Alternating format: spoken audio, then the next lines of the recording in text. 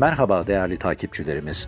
Bizlere destek olmak için kanalımıza abone olup bildirim zilinizi açmayı unutmayınız. Son dakika gelişmesiyle sizlerleyiz. İsrail Birleşmiş Milletleri de vuruyor.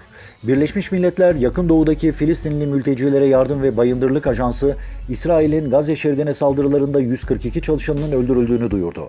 UNRWA'nın X hesabından yaptığı açıklamada İsrail'in yoğun saldırıları altındaki Gazze'deki kayıplara ilişkin bilgi verildi.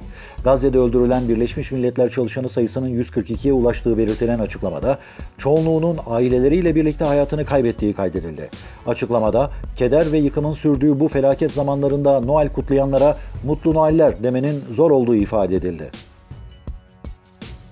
Kıymetli takipçilerimiz, bir haberimizin daha sonuna geldik. Bir sonraki haberimizde görüşmek üzere.